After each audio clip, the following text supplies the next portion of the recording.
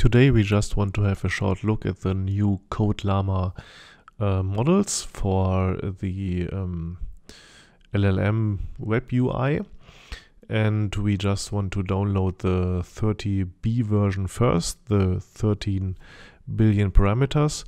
That is working on a 24 gigabyte uh, GPU but uh, like we see in a few seconds it's uh, quite short uh, but first we have to download all the uh, all the files from the Hugging Face page, like you can see here, and copy all the um, the whole uh, model and the configuration files into the folder, and then load it um, like normal.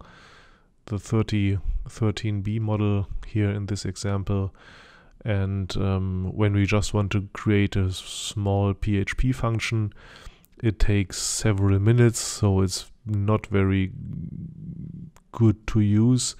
It takes a long time, uh, especially compared to the online version of uh, ChatGPT or similar models like that. So it's yeah not so fast when you run it locally, even on a quite fast system. The tokens are around uh, 0.2 up to 1 token per second, which is not really fast and you have to wait a long time. And also you get more or less bad results. Maybe if you have other experience or better experience, just post in the comments because this is my first try with this uh, and yes, the first tests were not so very good. So after these uh, 13B models, we want to check out the 7B um, that are smaller and have only 7 billion parameters, but run on our on, on my system very fast. So that is working better uh, for the speed, but the results are yes not not so good. So even worse than with the 13B parameters model.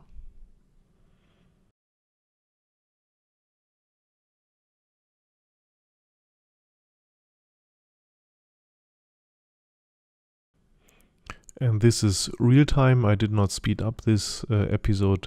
So this is really how fast or slow uh, it is working. And the whole system is uh, quite slow in responsiveness. So um, you cannot really do any tasks uh, while the system is running.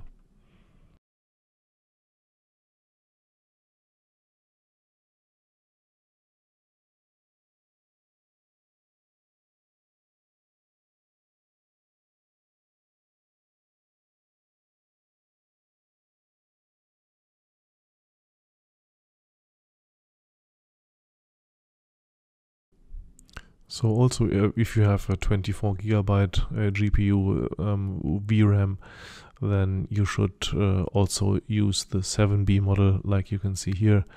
It is very fast, so for a few tests um, you can play around with this much more comfortable and easy and you can try out many prompts as you like.